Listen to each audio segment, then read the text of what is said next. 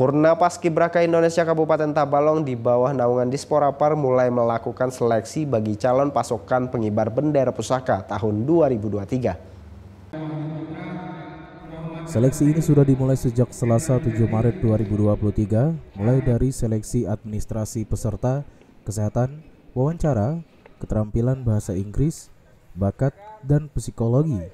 Kemudian pada 9 Maret 2023 dilanjutkan dengan seleksi parade, samaptaan, fisik, baik lari 12 menit, sit up, push up, dan back up.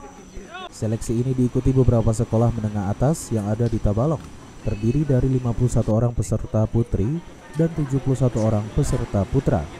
Panitia seleksi mencari 32 orang, terdiri dari enam orang yang akan dikirim untuk mengikuti seleksi paskibraka tingkat provinsi dan yang sisanya untuk Kabupaten Tabalong. Pelatih Paskibraka Tabalong Oki Satriani berharap peserta yang lolos seleksi dapat mengikuti latihan dan karantina dengan serius sehingga dapat mensukseskan pengibaran bendera pada hari kemerdekaan.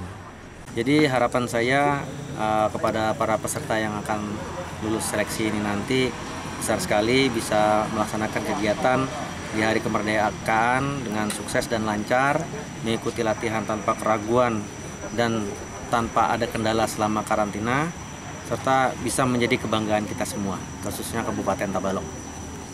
Petugas yang melakukan seleksi ini terdiri dari Disporapar sebagai panitia utama, serta tim seleksi terdiri dari Purna Paskibraka Kabupaten Tabalong, Kodim 1008 Tabalong, serta dari Polres Tabalong.